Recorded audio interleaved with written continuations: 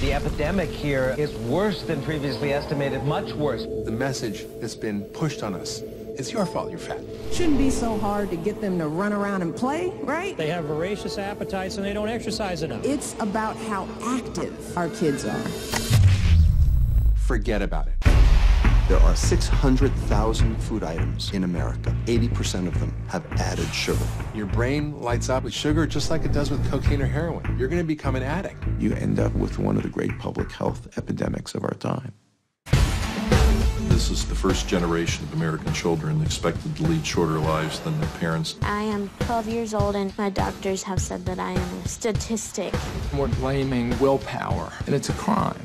Over 95% of all Americans will be overweight or obese in two decades.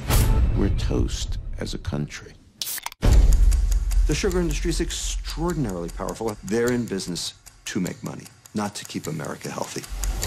What if our whole approach to this epidemic has been dead wrong? The government is subsidizing the obesity epidemic. We place private profit ahead of public health. Systematic political failure. By 2050, one out of every three Americans will have diabetes. Those diseases are being driven by sugar. This is the fundamental problem nobody's talking about in society.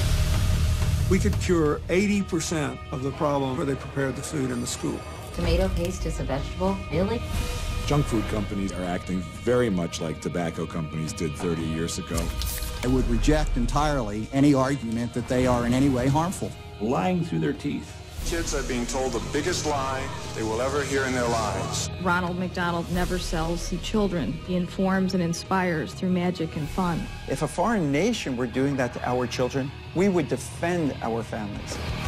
Years from now, we're going to say, I can't believe we let them get away with that. You have to change the diet of America. It's all preventable.